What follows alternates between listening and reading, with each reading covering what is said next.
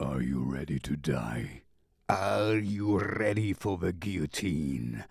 And I had to admit, I had to kind of really look how to type this.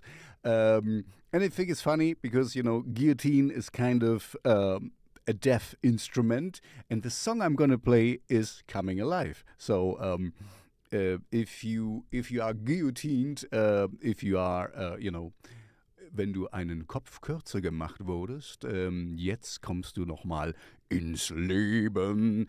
Um, guillotine. This is very heavy, you know, strap in, lads. This is, uh, uh, I think, the heaviest song I'm going to play in the show. Um, uh, and Guillotine is an industrial metal band forged in the shadows of Nashville, Tennessee.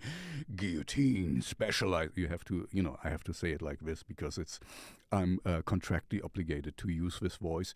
Guillotine. Uh, specializes in their cinematic and energetic live show, submerging the audience into the band's own hellscape.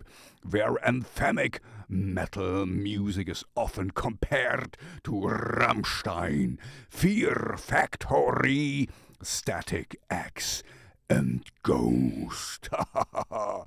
anyway, no, they're really good it's uh, it's my kind of uh, thing. You know, if it wouldn't be so far away, like in Nashville, Tennessee, I would really uh, like to ask them to to play with us, to play with my band Kaltblut, because they were a perfect fit.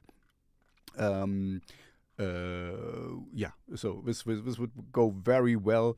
Anyway, without too much further ado, I know how to spell guillotine now, and here is guillotine with coming alive.